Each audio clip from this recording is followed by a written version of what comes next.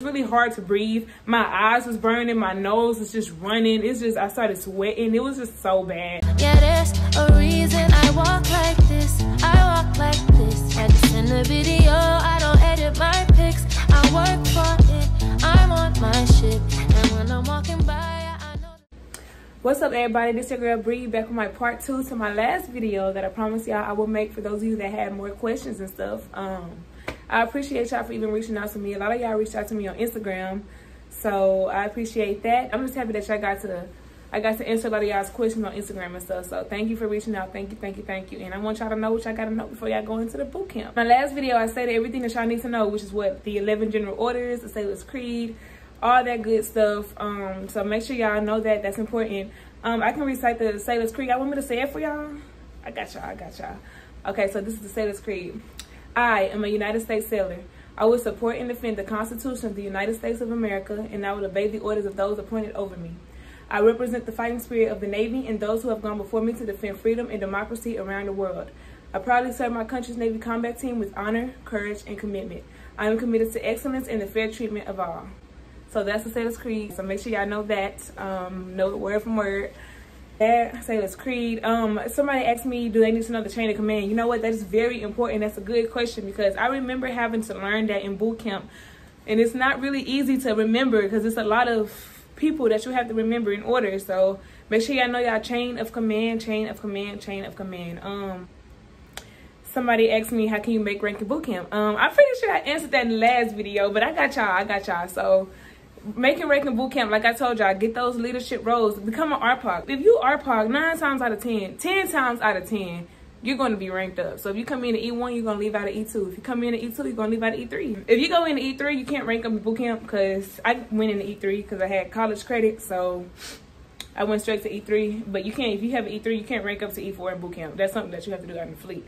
But yes, so for those of you that want to rank up, get a leadership role, whether it's RPOC. RPOC is the number one. That's like guarantee you're going to get ranked up. But RPOC and then, um, you know, like I said in the last video, head PO, laundry PO, um, all that good stuff. So the person that sings the cadences, I can't think of the name, y'all. I'm sorry. Yeah, you can rank up being that person as well. Someone also asked me, once you go into boot camp, do you get all your stuff? So yeah, when you make when you pull up the boot camp, you get off the bus and stuff that same night and that same night. And I'm gonna give you it's more detailed of that night when you in my last video. So if you're more interested into what's gonna happen once you get off the bus and stuff, in my last video. So make sure y'all go tune in to that one. And then you also gonna go to the next exchange where they give you stuff for like your hair, um, like toothpaste you can get all that kind of stuff, toothpaste, brush, anything that you need, uh, hair gel. Um, for those of you that like got to be glued, cause yes, yeah, you can get some of that. Lay down those edges. And here goes a good example of how your bun should look, okay? Like, some people like to do donut buns, but this isn't a donut bun, okay? So, and it just has to be neat. So y'all get the picture and make sure y'all bun is very neat Make sure y'all edges are laid. Now I'm playing. They don't gotta be laid, but yeah, just make sure just make sure it's neat looking. It's you know, it look like you actually put effort into doing your hair. Cause some people, mm -mm. I be like, girl, where is you going? so I'm a PS, which is a personnel specialist. I um I'm working like admin, so I'm doing paperwork. If somebody if something is wrong with somebody's pay, they'll come to me and I'll fix it for them, fix any problems that they have. Somebody's transferring, I do check-ins, just that's what PSs do. There's different types of PSs. So yeah, um, I'm a PS. I do admin. Um, so what are some good rates or some interesting rates for me, in my opinion? Okay, because that's what people ask. Rates that are good in my opinion, I would say. I would say PS, which is my rate. Um, I would say a corpsman, which is HM, even though it's kind of hard. Okay, so it's kind of hard to make rank in that rate but it just really just depends on you um, they have exams so you got to do good on the exams in order to rank up. And you got to actually come to work show up to work do what you got to do be on time and, and and work hard. And you can get mapped. Mapped is when you don't have to take the exam to rank up. Um, your chain of command ranks you up just from your hard work and your work ethic. So um yeah so hmps um az yn those are good rates. Yeoman is like another YN is yeoman, which is another type of paperwork rate. Or you be on the computer, it's like office rate. Um, it's another rate in admin. So it's real similar to PS's. AZ, AZ is like, it's like an aircraft yeoman actually. So they are the ones who like jot down what's missing or what does it, what's on the aircraft that needs to be looked at or fixed or what's needed. Um, I'm, I'm an easy job person, okay? I don't like to do all that extra hands-on, getting dirty, um, think too hard type of stuff. I'm a very easy person because I'm a girl. So yeah, I like easy stuff. So that's why I prefer those rates because they're easy rates. Um, LS as well. LS a logistics specialist. That's a good rate to have. And I got another question about the gas chamber. So the gas chamber, I told y'all about my last video. Um, I cried when I did that. The gas chamber is just yeah, I told y'all, y'all put on the mask, and then when y'all get into the room, they they let the gas out and stuff, and then you got to take it off, and you got to say a sentence. So basically, you they make you hold your hand under your mouth and your nose, and um, you hold your, you take your mask off your face, and they make you say a sentence. So the sentence, you'll be like, um, my last name is Hunt, so they'll make you say Airman Hunt Division. I was in Division 952, so Division 952. They make you say your last name and then your Hunt. Um, they make you say last name and then your division. So I had to say Airman Hunt Division 952. I had to say it. Once you finish that sentence, you get to leave out. So yeah, it's really hard to breathe. My eyes was burning. My nose was just running. It's just, I started sweating. It was just so bad. Like, yeah, it was kind of, but I mean, some people took it real good. I didn't. Some people, I, I didn't. That's all I'm gonna say. I didn't but some people was able to handle it. Um, so as soon as the faster you say it, the faster you get out. Oh, I got questions about inspections in boot camp. So inspections, you're gonna in every uniform that they give you, in this uniform, um, and all of your other uniforms that they give you, you're gonna have an inspection. So an inspection is when they're gonna give you like a week or two to prepare for it. So they're gonna show y'all exactly how it needs to look, exactly how they're gonna teach you how to do your bow tie. They're gonna teach you how to do everything. They're gonna teach you how everything should look. Shining them boots, boy, that was just so anyways yeah so you got to shine your boots. You got to make sure everything is just perfect. Yeah so for the inspections they have somebody coming to y'all division not one of your RDCs um, they have somebody come to y'all vision and y'all are everybody is lined up in front of their racks. So y'all gonna be standing in front of y'all racks and then the person that's inspecting y'all is gonna go around the room and look at everybody's uniform.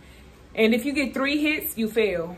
So yeah, as I remember, you get three hits, you fail. Yeah, I never fail, thank God. But if you fail, if you get three hits, you just have a, a reinspection. And think if you like fail the reinspection, you get AS mode. Cause yeah, so something like that. So just try to pass try to pass those inspections. So be ready for that. And also, um, so for those of y'all that was asking um about quarantining before boot camp and stuff, I didn't catch that wave of coronavirus when I was in boot camp. I had already graduated boot camp before all this stuff even popped off. But what I've heard is you are going to quarantine in a hotel for two weeks before you go into boot camp. Um, and people was asking me how would I be able to work out. Hey, y'all gotta do what y'all gotta do. So if y'all have to work out in y'all room, do some sit-ups, running in place, jumping jacks, uh, push-ups, whatever y'all gotta do, do that because yeah, y'all don't want to lose y'all fitness. Y'all don't want to lose what y'all have gained or prepared for it. So make sure y'all just stay active. Honestly, people was asking me whether they feed y'all. I, I honestly don't know, but I'm pretty sure they're gonna feed y'all good because they fed you. They fed me good. They fed us good in boot camp, so I'm pretty sure they're gonna feed y'all good in that hotel. Um, I told y'all in my last video, I told y'all I went from 120 pounds to 147 pounds. I gained mad weight, so I was eating really good in uh, boot camp like I said, be mentally prepared, be mentally strong. When they get in your face, when they yell at y'all, when they be mean, when they curse y'all out, just take it like a G, because y'all some G's up in this thing, period. I came in Undes. Um, being Undes, it just shows you, you get to, it's, it's really, I feel like being Undes really helps you see all the other jobs before you pick up a rate, because you get to see all the other rates and you get to be more prepared with your decisions. So you can choose what you want because you see what how how they do it. So don't be discouraged because you're undes. If you feel like you scored too low on your ASVAB, don't be discouraged about that either. The overall, your overall score basically divided into the line score. So they go by line score. Just before you take the test, just try to take, make sure you have a good breakfast that morning and really make sure you study for the ASVAB. That's not nothing that you just want to just, oh, I'm just going to take it. You know, unless you just graduated school or something, you know, all the academics is still in your mind. But if not, then that's something that you definitely want to study for and prepare for. You want to score good enough to get what you want to get. Do I have to take the vaccine before I go to boot camp? As of now, no, you do not. Um, no telling what they're gonna try to pull off in the future, but as of now, no, you don't have to take the vaccine. Right, so another thing that I wanna touch bases on, do not wait too long to start running because if you do that, y'all, y'all gonna be like, y'all gonna be looking crazy for real. Um, let me say y'all, I ran track. Okay, I ran track all through high school. All right, so I ran track all through high school, and I went. I did two years of college and ran track. After that, I went to Nate. I went to the Navy. I joined boot camp. So when I tell y'all, my time that I had to run was like 14 minutes. When I tell y'all, I barely even made that and I was still running, it's just because I was a sprinter. I wasn't a distance runner. So that running, but distance running is not as easy as that stuff may sound. For real, you really want to get started. You want to start like, I would say start like two months before you even go to boot camp. A month. Just something, a good amount of time. People ask me, did I cry during boot camp? I actually did not cry. Um, it's been times where I felt real sad or I felt down or I felt alone. I remember everybody's in there is going through the same thing that you're going through. Everybody's away from home. Everybody's getting yelled at. Everybody got to do the same exact thing that you're doing. So you're not alone. When you go to boot camp, don't be wearing fake eyelashes. Don't go to be cute because you would get clowned. Them RDCs do not care. They would really clown you in front of everybody. They would embarrass you like, Oh, you told you came here to look cute. Who you looking good for? Oh, oh, for real. Oh, you ain't cute. You ain't all that. Take that shit off.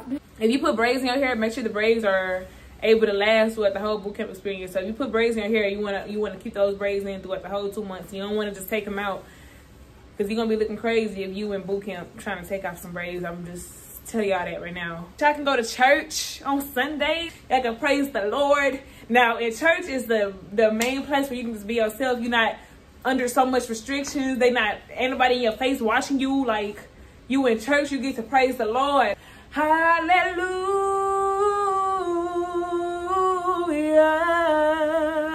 Oh, y'all ain't know I can sing though, huh? Yeah. Don't feel alone because everybody there is going through the same thing, like I said already. Y'all not gonna get along with everybody. Y'all got people that think they in charge y'all, that think they running something. Y'all got people that think they your mama, that think they your daddy. Like y'all got people there that's just that's normal. When you put a group of females together, what do you expect? They always get the division and trouble, bro. It's always that one person. It's always somebody. Like, y'all got people that's just annoying, for real, like mad annoying. Y'all got people that don't know how to clean up after themselves. Like, people be trifling, y'all. People be trifling, for real. Just tell them about themselves and keep moving.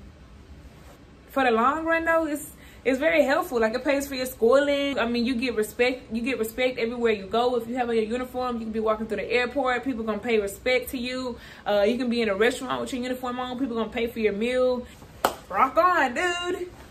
Yeah, but um. Um, so yeah, I covered like a lot that I could cover. So if y'all have any more questions for real, y'all need to let me know. I will definitely answer them for y'all again. So those who reach out on Instagram, thank you for reaching out to me. Thanks for asking your questions. I hope I answered most of them for the most part. Um, um, no question is a dumb question. So for real, ask me anything, literally. Yeah, make sure y'all like, comment, subscribe. Really help your girl, cause I'm trying to get up there with the big dog. if y'all like this video, y'all don't even have to ask questions. Y'all can hit me up in the DM, be like, Oh, girl, I like that video. I saw you, boo. Okay, you did your thing on there. Um, if y'all want to, if y'all want to know anything else about the Navy, like not about boot camp, but something else ask. I will answer those for y'all. All right. All right. Peace out, y'all. Have a good one. Bye. Yeah,